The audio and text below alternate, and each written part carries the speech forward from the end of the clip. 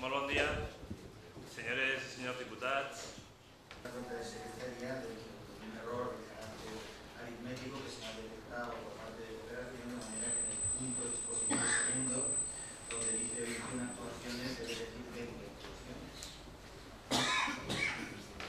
Corresponde votar la, la urgència. Aprovar 297 obres. 297 obres que van a suposar una inversió de 14 milions d'euros, de 12.225.000 euros, sumant a les obres que hem aprovat abans dins del Pla d'Eficiència Hídrica, esta casa avui només en estos dos punts està aprovant 351 obres en una inversió, com, si, com es dia, de 14 milions d'euros, dels que 10 estaran subvencionats per la Diputació Provincial, algo que va a generar una creació de llocs de treball del voltant de 1.200 persones en la província de Castelló.